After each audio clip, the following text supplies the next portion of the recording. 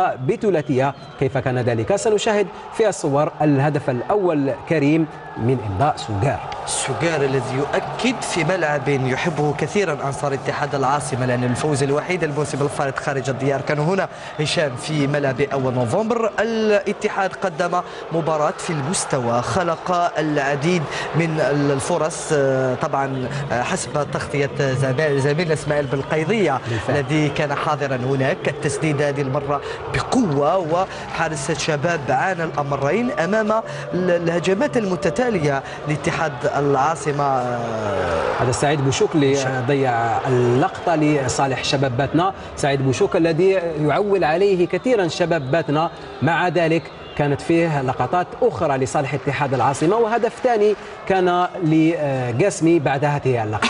ولما تضيع يوسف في الكثير من المناسبات تتلقى الأهداف خاصة لما يكون في الواجهة فريق من حجم فريق اتحاد العاصمة اللي تحرر كثير خاصة بعد الفوز على المولودية في الدرب العاصمة هشام أعطاه شحنة إضافية كبيرة جدا. هذا ما انعكس جليا في الحصة الدربية التي كانت قبل اللقاء وفي هذا اللقاء.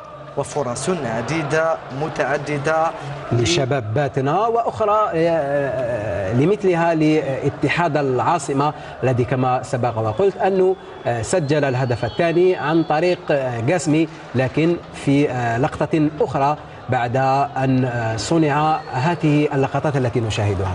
سوغر دائما.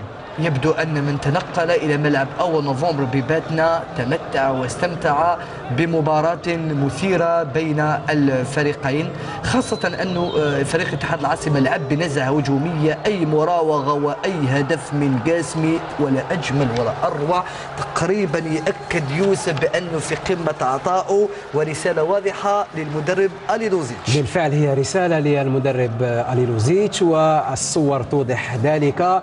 هدف رائع يوسف هدف اكتشفناه هكذا على الطريقة الأوروبية هشام. فعلا. مرة أخرى. وهنا ركلة الجزاء. طبعا نعلق يوسف هكذا على المو... بعد الصور لحقت فقط منذ ثواني وبمجهود كبير وكبير جدا وأبو عزة يسجل ثالث أهداف اتحاد العاصمة. فعلا علامة كاملة لقسم على روعة هذا الهدف الذي